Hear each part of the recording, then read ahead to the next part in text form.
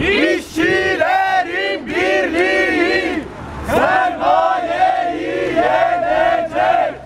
İşçilerin birliği sermayeyi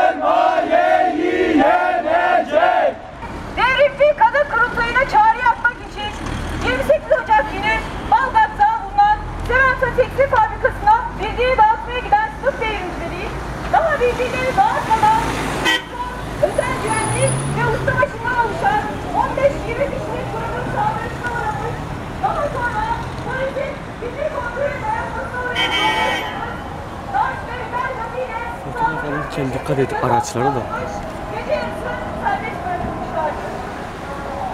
Atarak Samantepa patronunun devrimcilere saldırması boşuna değildir. Ağırlığı kadın olmak üzere 500 aşkın işçinin çalıştığı Semento tam anlamıyla bir sömürü cehennemidir.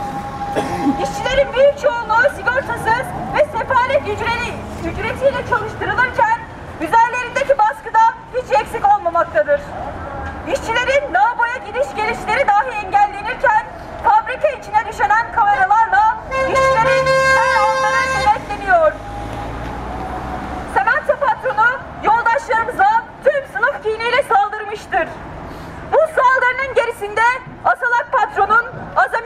hırsı yatmaktadır. O hırs ki işçileri kuralsızca sömürmesini doğurmakta, o hırs ki işçileri insanlık dışı koşullarda çalıştırmakta, o hırs ki geçtiğimiz yıl önlemler alınmaması sonucu parmağını kaybeden genç kadın işçi kardeşimizin yaşadığı gibi işçilerin yaşamlarına